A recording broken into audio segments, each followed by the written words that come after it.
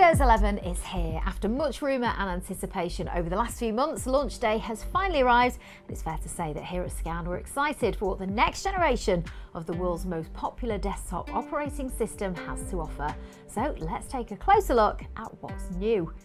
The first thing you'll notice is that there's a fresh new look to the start screen and menu. You're presented with more muted colours and pastel shades, giving it a softer feel across the board.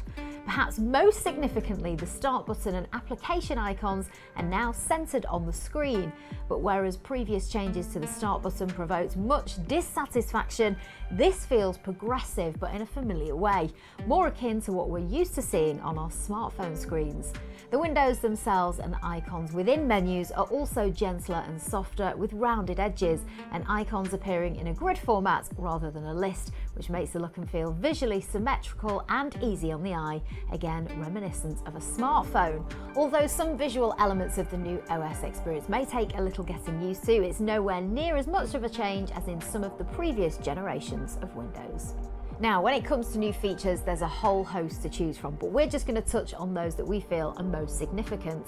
Firstly, there's Snap Layouts, a flexible and intuitive way to format your various windows side by side on your screen or screens, offering either four or six tile options depending on your screen size. It allows you to quickly and simply arrange your application's windows into the most productive layout for you. Snap Groups then allows you to easily return to previous chosen snap layouts and a new docking sub-feature retains your layout when you undock and redock to an additional monitor or monitors. Secondly, a new feature called Desktops enables switching between multiple desktop screens where different applications can be open, whether this is for work, at home, or specially for games. Each of your desktops can have a unique wallpaper too, allowing you to add that personal touch and they can be reordered and organised simply by dragging the thumbnail. Not specifically new is Game Mode. First introduced in Windows 10, the Game Mode feature, when enabled, reduces background apps to free up the CPU for games. The setting worked in some cases, but only really made a difference in a handful of games or where a user could benefit from a tiny bit more CPU performance. With Windows 11 though, Microsoft has made some tweaks to Game Mode that will now allow the setting to further limit background app activity and dedicate more resources to games. Auto HDR is another feature we're glad to see get added. Windows 10 itself wasn't really fully HDR compatible, so turning the feature on to get the benefit with real HDR content then resulted in a less than perfect desktop experience. With Auto HDR, Windows 11 automatically adds HDR to SDR content seamlessly, so you get a much more consistent experience.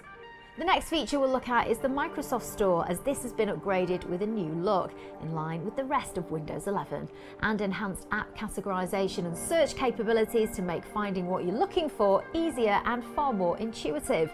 There's also added support for a wider array of apps including support in the future for Android apps that can be run natively in Windows 11.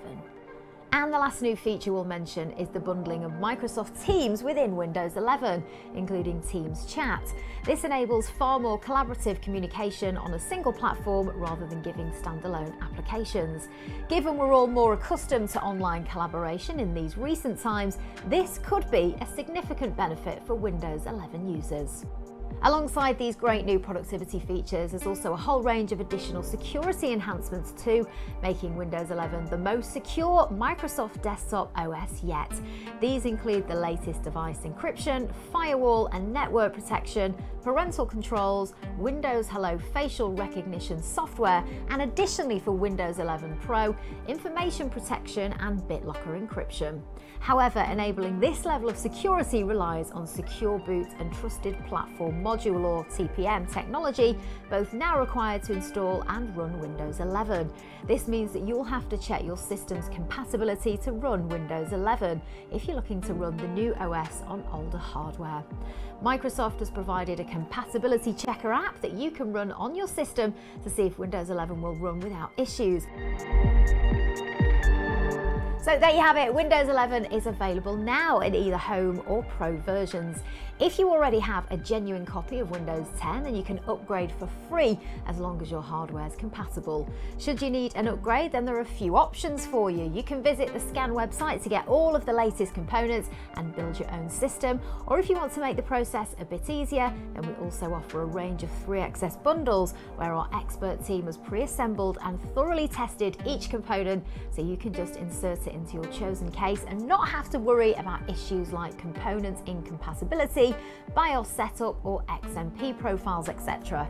And of course, if your PC is looking a bit long in the tooth and needs a complete refresh, then we also offer a full range of 3XS PCs for all uses like gaming, video and audio production, graphical and 3D design, and anything else you can possibly think of. You can select one of our pre-spec PCs from the website or even configure your own specification in our 3XS configurator. There's also, of course, our 3XS custom shop where you can work with us to add some personal touches and really make it your own.